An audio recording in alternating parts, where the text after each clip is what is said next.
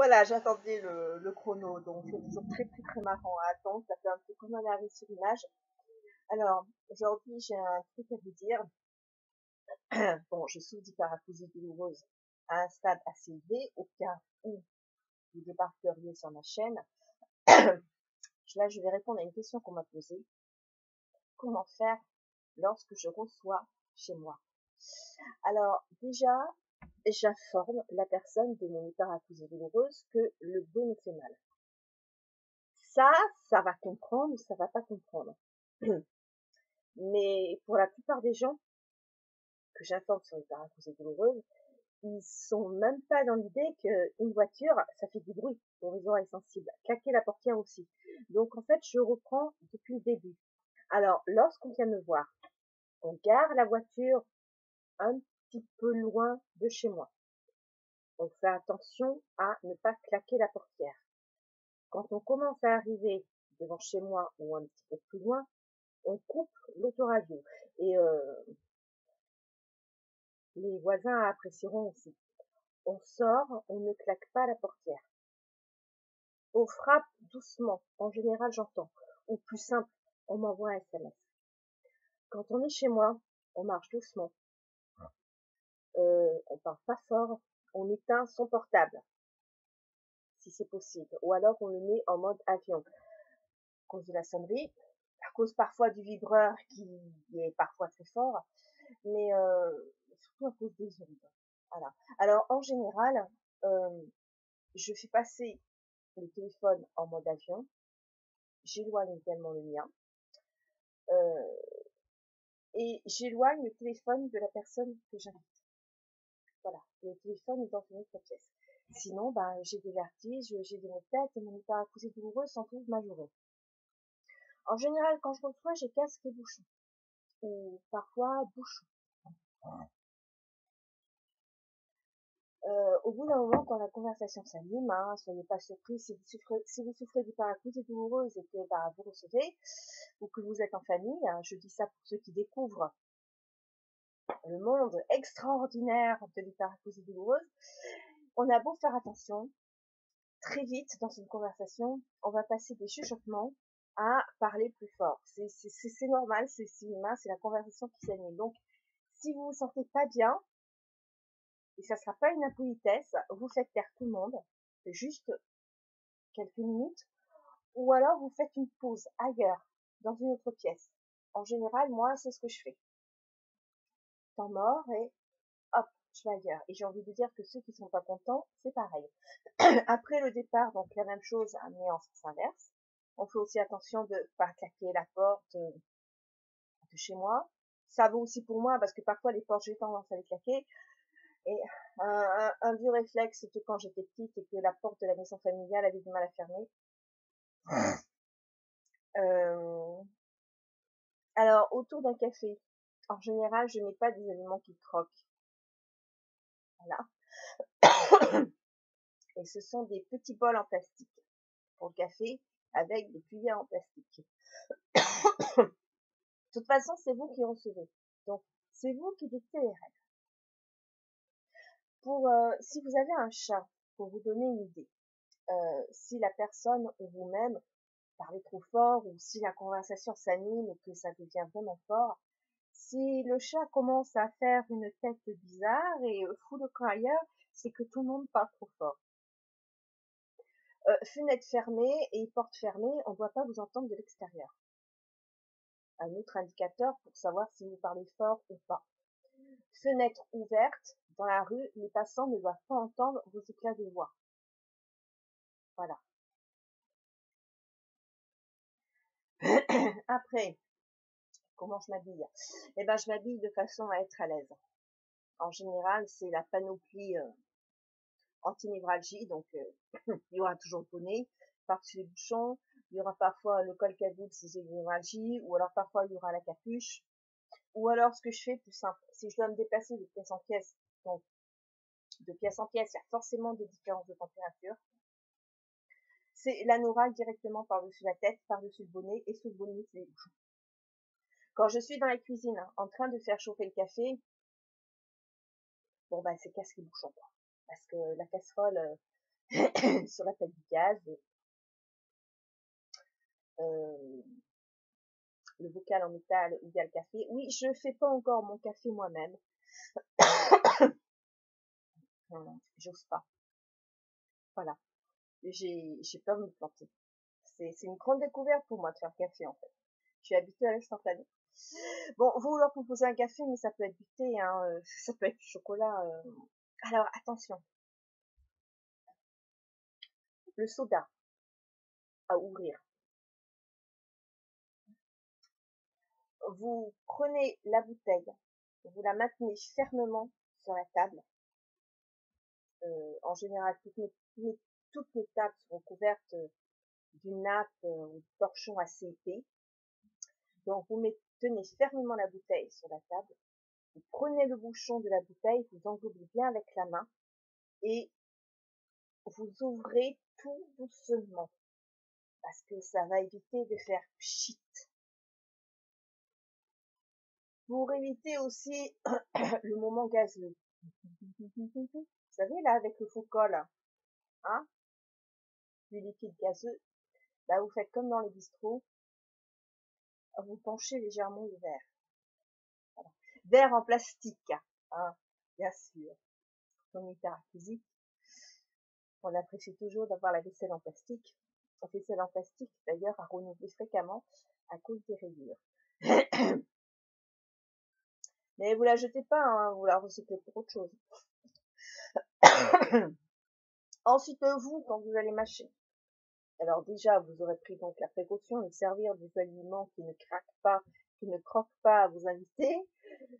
Euh, des bananes, par exemple, euh, des pains au lait. Euh. Mais euh, merde, un invité a apporté des gâteaux secs.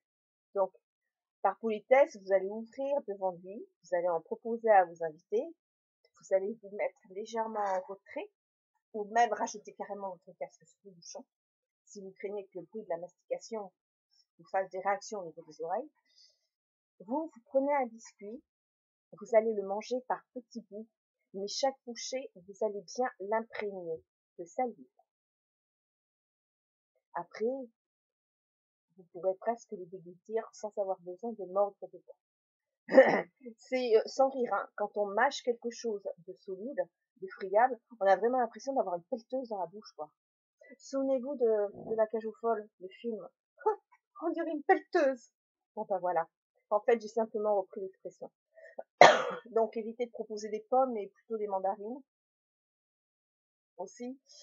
Euh, alors, la boîte à biscuits en métal. Pareil, vous la posez sur un torchon épais. Euh, vous ouvrez très très très très très délicatement vous piochez dedans délicatement. Bon, en général, moi, les biscuits, je les mets plutôt dans des boîtes à sucre en plastique, mais euh, je pense à mettre un morceau de sucre dedans, parce que sinon, euh, ils deviennent trop mous, ils ont tendance à prendre l'humidité. Ensuite, euh, si vous avez du mal à déglutir, parce que mine de rien, quand on avale la flotte, quand on avale un liquide, eh ben, ça fait du bruit. Ça fait bien cache les résonances, quoi là vous buvez à la paille. Ou alors vous buvez par euh, petite gorgée, ou alors euh, vous trempez vos lèvres simplement.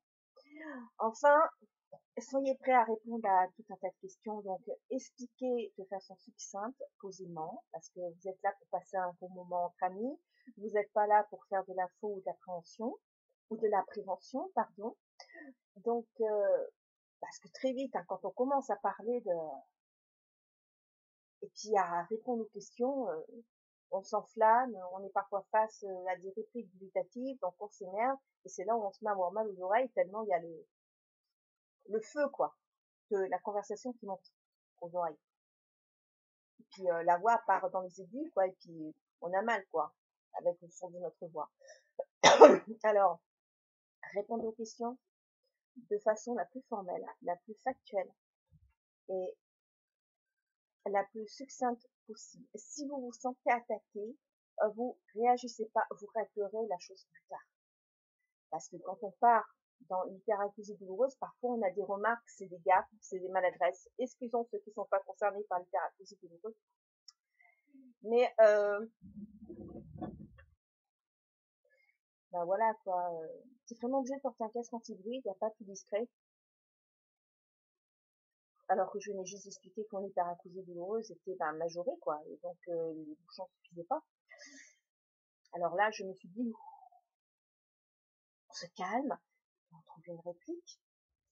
J'ai dit, bah, non, il n'y a pas plus discret, il me faut ça. Avec un, un, beau sourire, quoi, et puis, euh, du, du, calme, quoi. Soyez posé. Plus vous serez posé dans une conversation, par exemple entre amis, ou lorsque vous expliquez quelque chose, plus les gens autour de vous seront posés. Essayez. Tout le monde parle fort, vous en avez marre, vous avez mal aux oreilles. Donc, au lieu de foutre le camp ailleurs, baissez la voix. Tout le monde va se taire pour vous écouter. C'est, euh, je sais pas si les profs que j'ai eus à l'école avaient pas tendance à, à employer cette astuce pour avoir plus d'attention de, de leurs élèves. Je me souviens pas. bon, et puis sinon, euh, bien sûr, vous aurez peut-être un petit peu mal aux oreilles. Et vous serez en tout cas fatigué auditivement parce que vous aurez parlé. Moi, perso, quand je parle beaucoup, bah, non seulement j'ai mal aux oreilles, mais les, vibrations ici, bah, je sens que ça fait mal. Donc après, reposez-vous. Reposez vos oreilles. Voilà. Euh, parce que vous aurez passé un bon moment au travail, ça vous aura fait du bien, ça vous aurait, ça vous aura détendu, vous aurez fait connaître un petit peu plus l'hyperacousie douloureux qu'à faire.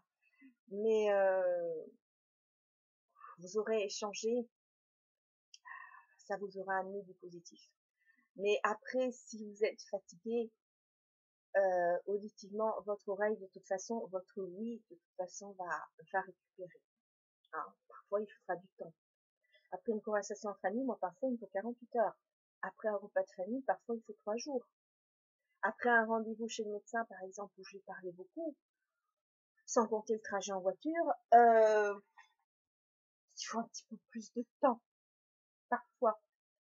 Parfois, il faut cinq jours. Mais euh, un peu d'interaction sociale, faut pas oublier que ça fait aussi bosser le cerveau. Ça vous fait sortir un petit peu de votre solitude. Ça va vous stimuler aussi intellectuellement. Euh, ça va vous apporter du bonheur même si ça vous apporte un peu de douleur. Donc il faut quand même pas cracher dessus. Simplement, il faut, euh, il faut bien s'organiser, il faut, euh, il faut prévoir, il faut expliquer l'hyperacousie douloureuse à l'avance. Et rentrez pas dans le misère,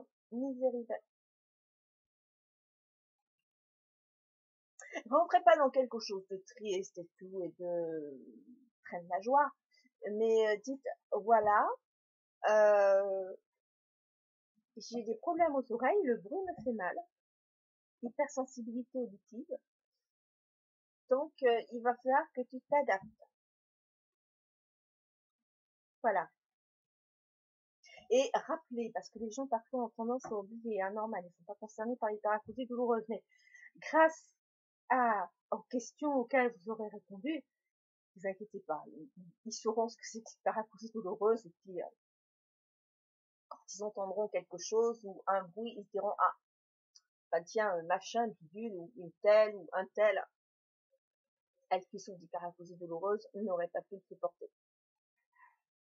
Et là ça ça sera là ça sera déjà la compréhension, vous voyez, ça sera déjà euh, la sympathie, ça sera déjà euh, quelque chose de grand. Ces gens-là comprendront dorénavant que voilà le bruit que eux ils supportent ils ont la présence d'esprit de penser que, ah, ben tiens, elle ou il qui souffre d'hyperacousie douloureuse, ce bruit-là, finalement, contrairement à moi, il ou elle le supporteront pas, et, et puis en plus, ça peut même leur faire mal.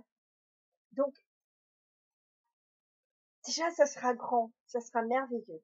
Voilà.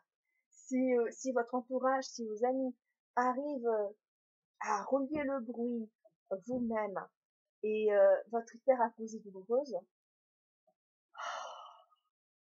respect et champagne. Ou jus de tomate pour moi. Après, pour les acouphènes, je vais laisser parler les acouphéniques s'ils le veulent sur cette vidéo. Mais il paraît que les acouphènes augmentent, donc pendant les conversations, avec euh, le son des voix, euh, lors d'un moment entre amis, mais surtout après, voilà, euh, avec la fatigue auditive, et qu'il faut un moment pour faire redescendre les acouphènes qui se, seront un petit peu augmentés suite à ce moment entre amis. Donc si vous avez des acouphènes suite à des moments passés entre amis, pouvez interagir à votre guise sous la vidéo. Alors ça va de soi, bien sûr, quand vous êtes hyperacoustique, pas de musique d'ambiance ou alors euh, très très très léger si vous pouvez le supporter. Et pour les acouphènes aussi, pas de musique d'ambiance ou alors très très très léger. Mais peut-être que si vous avez des acouphènes, euh, le bruit des conversations et euh, un fond sonore va peut-être vous aider à bien vivre ce moment, à moins vous focaliser sur vos acouphènes, à moins les entendre, à vous détendre.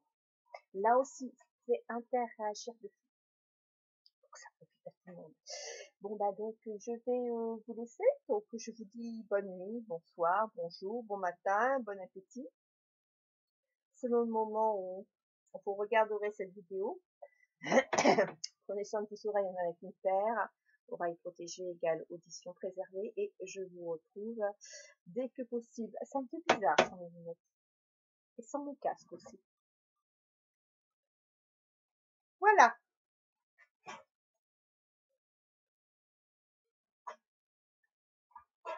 qu'à faire.